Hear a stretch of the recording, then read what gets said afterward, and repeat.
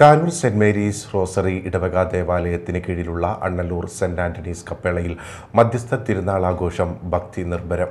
തിരുനാൾ കുർബാനയ്ക്ക് ഫാദർ ഫെമിൻ ചിറ്റിലപ്പിള്ളി കാർമ്മികത്വം വഹിച്ചു. നിരവധി വിശ്വാസികൾ തിരുനാൾ അനുബന്ധ ചടങ്ങുകളിൽ പങ്കാളികളായി.